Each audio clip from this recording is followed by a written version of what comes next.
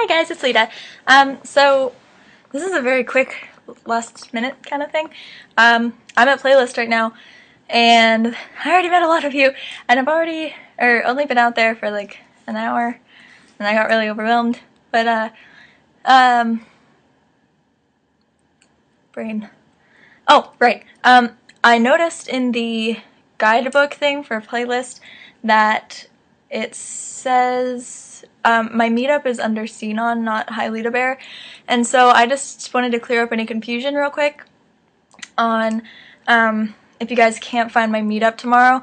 Um, it is under Sinon though on Saturday, uh, and it's from 3 to 4 p.m.